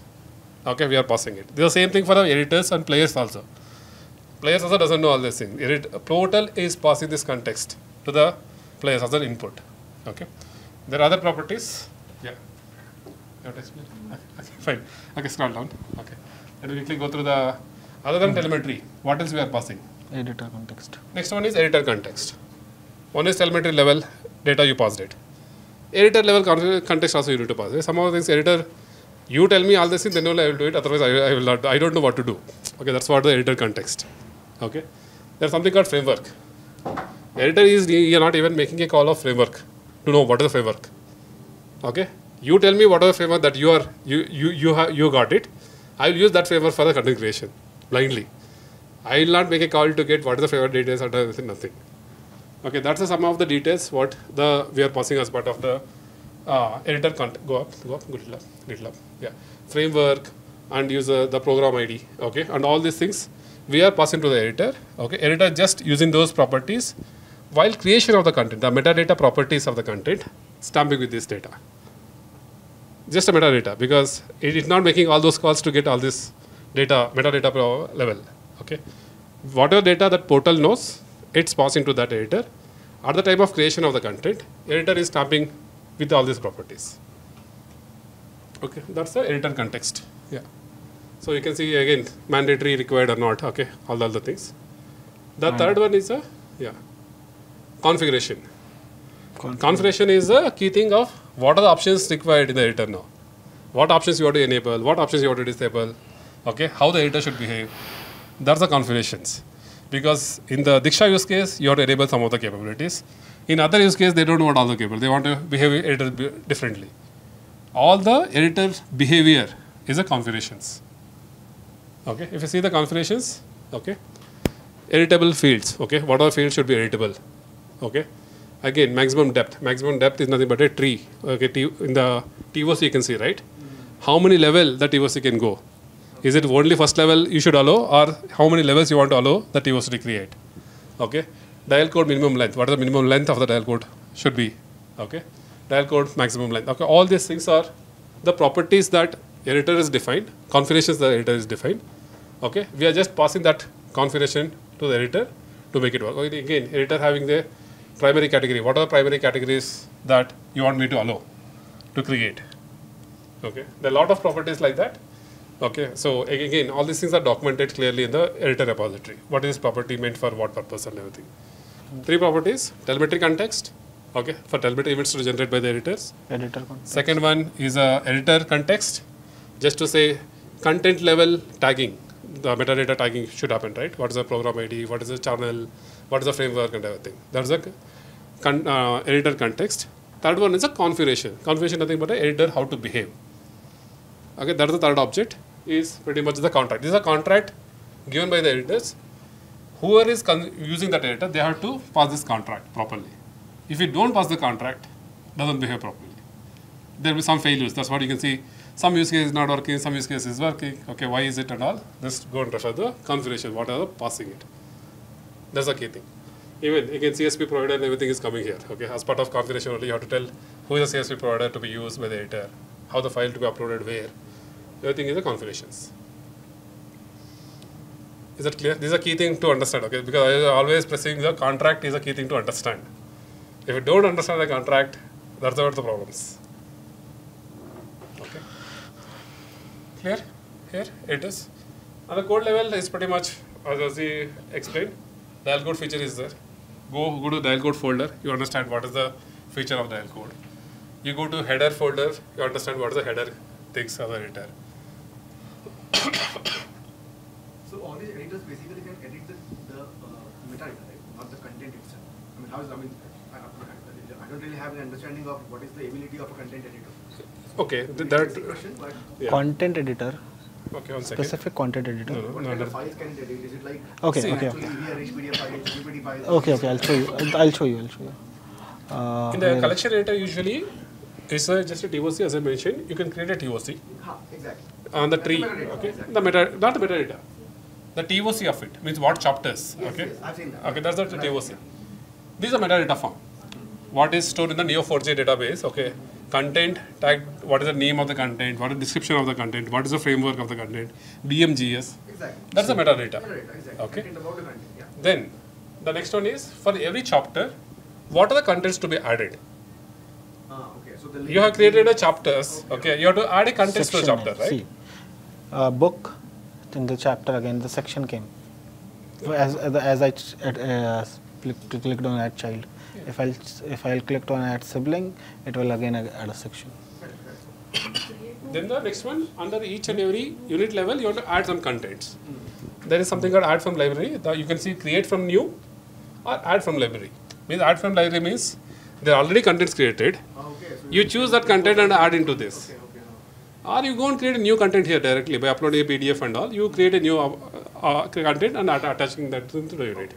Both options are available within the editor. You clearly see the code level. Okay, the library. If you search for library, what is the library module? Okay, how it's getting the data from the server to get to know what are the contents to be shown. Filtering options. You want to filter all, all the video contents, PDF contents. All those things available in the library. Create new is a new content you are creating. You choose what kind of content that you want to create. I mean, if you choose multiple choice questions, again the signature. Entire creation happens here. The new question creation happening here. Ah, okay. Okay, you create a question and then add into a ch- unit, chapter. That's a secret, right? This one. and this is all secure iteration. Yeah. Okay, so this is all code level easily. You you go to component module, you get to know what is that code. Okay, so I don't want to get into that code. I want to explaining about the key modules especially. Okay, can you go back?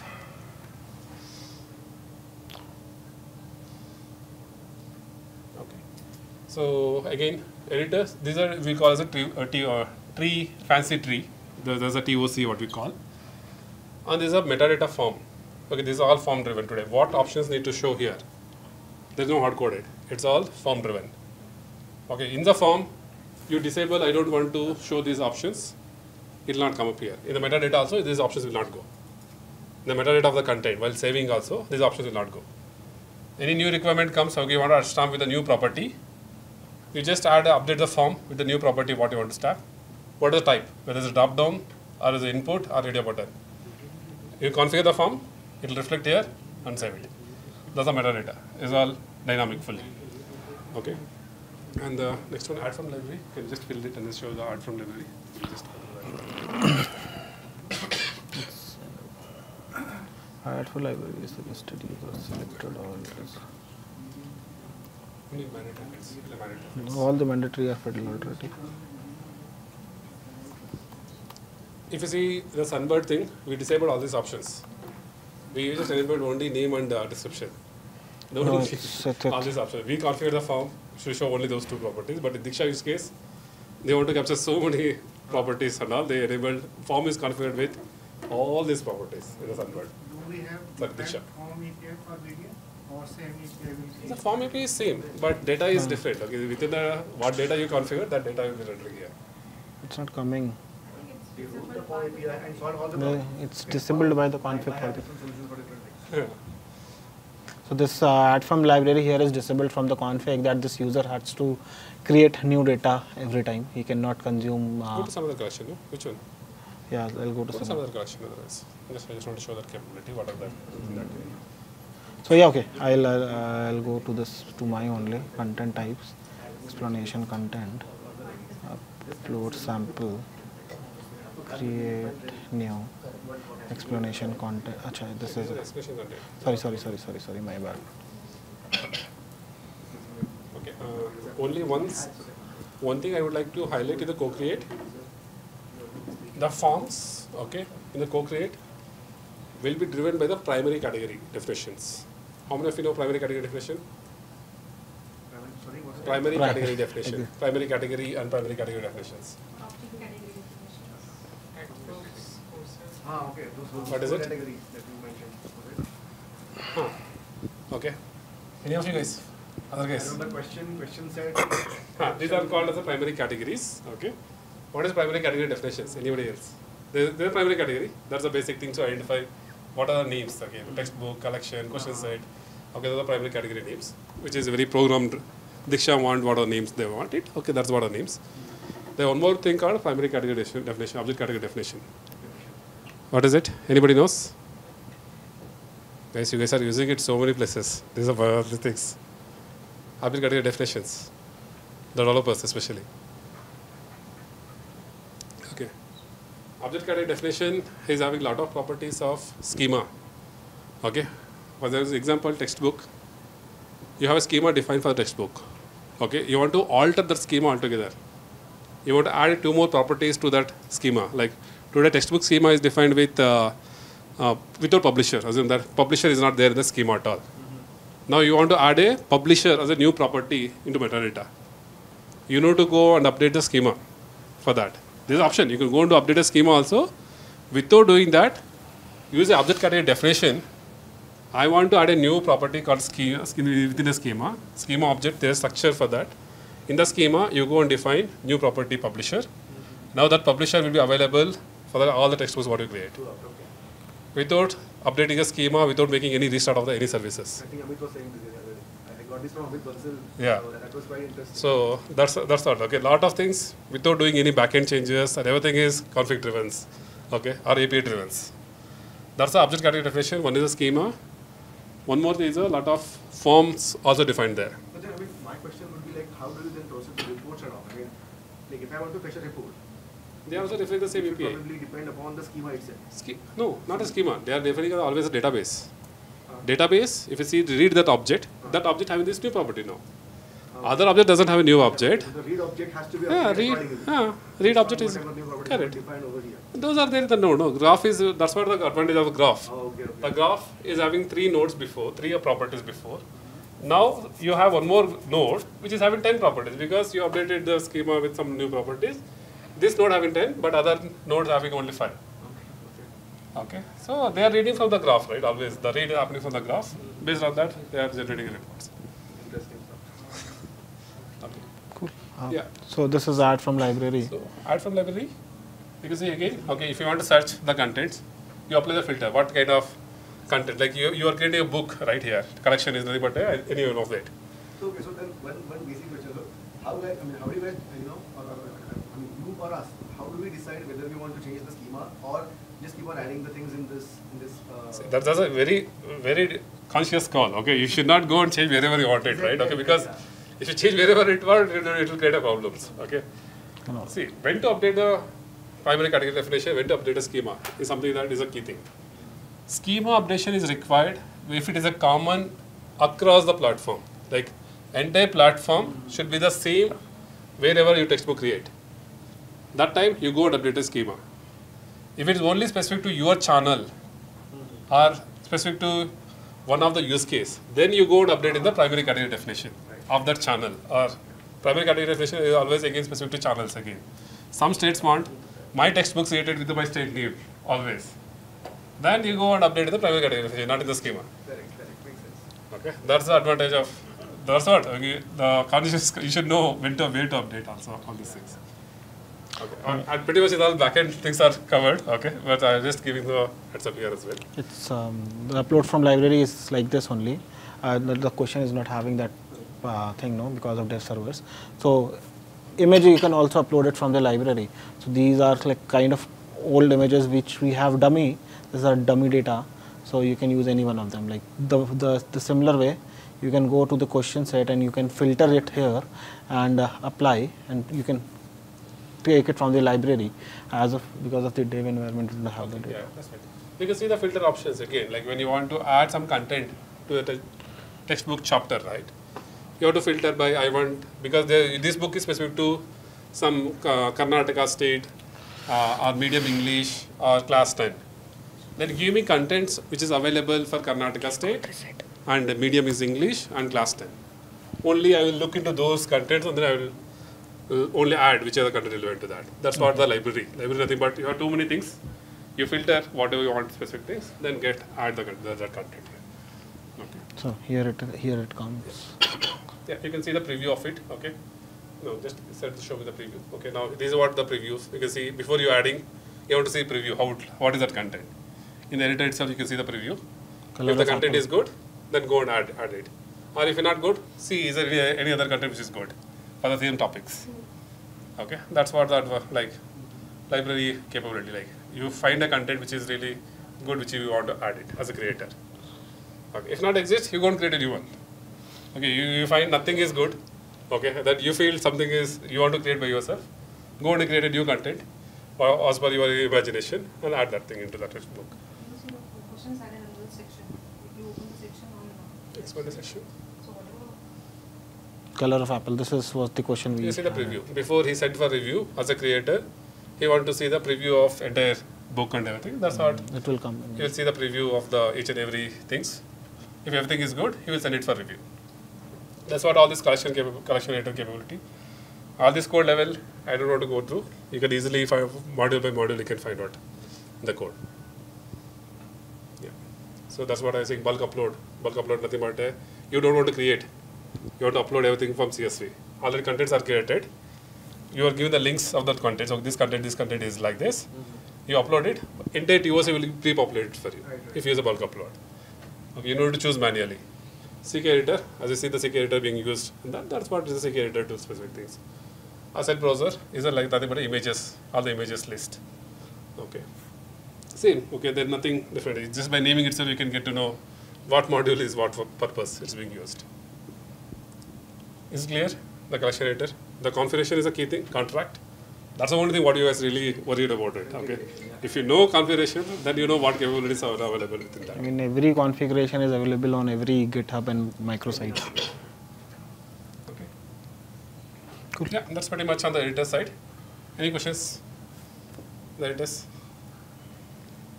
Okay. See, any, any capabilities not exist today, try to add as a contributor. Like uh, as I told you, couple you fork it, add a new capability, and then use it that for for your deployment. Then you contribute back. So the next version you can use that the contributed back. That's how you have to really think of it. You, you may not be having all the capability, are new use cases that you make getting from the field today. Like maybe uh, Diksha having some new capabilities, new requirements. If not exist, you have to really build that thing on the top of this.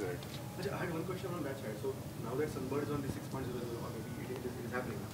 So can we like uh, upgrade specific building block without moving the entire thing on 6.0? That's not recommended. That's not Not recommended. recommended. That's not Not recommended. You can do it if you know the knowledge of that will not affect anywhere else. Okay, it will only specific to that. Then if you have that exact clear thing, then you can do that. Okay, until you get that knowledge, very we will not recommend that thing. Yeah, because if you if you update it, you don't know where and where what are the interactions will fail with that True, that true, yeah, yeah, Okay, it may fail. Okay, it may get updated, but interactions, everything, all the interactions should work. Dependency should be very clear. Very clear, yeah. If you know it will not affect anything else, then we, uh, okay. okay.